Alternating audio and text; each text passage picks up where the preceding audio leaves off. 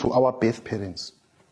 On this Good Friday, which I have declared as Parents' Day by the revelations of my spiritual guides, Itunyazan, we will honor our spiritual parents as well as those who are still with us in the physical world. Bazali bethu, we love you and we respect you. Please continue to watch over us and guide us. I agree with him. I agree with him 100%. I mean, look at the sky on uh, Good Friday.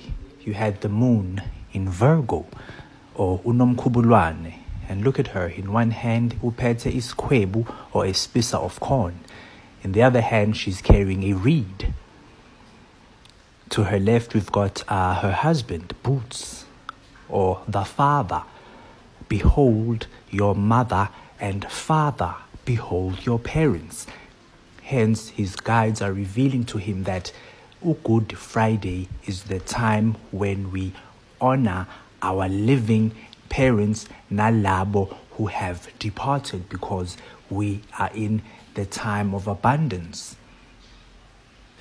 The woman with spisa in corn, she appears with her husband as from the time of uh, in the time of harvest in March. The last harvest, that's when she starts appearing, bringing ukudla so he is right when he says uh, we are in the time of uh, thanking our parents. He is aligning his congregation with the season that we are in. Because we are not in the season, we are not going into spring. We've just harvested. And now we need to be thankful for that harvest. And these are the asterisms. If you, if you look outside, uh, 10 p.m. at night, look east, you will see these uh, asterisms. Seek ye first the starry kingdom of God, and everything else shall be added unto thee.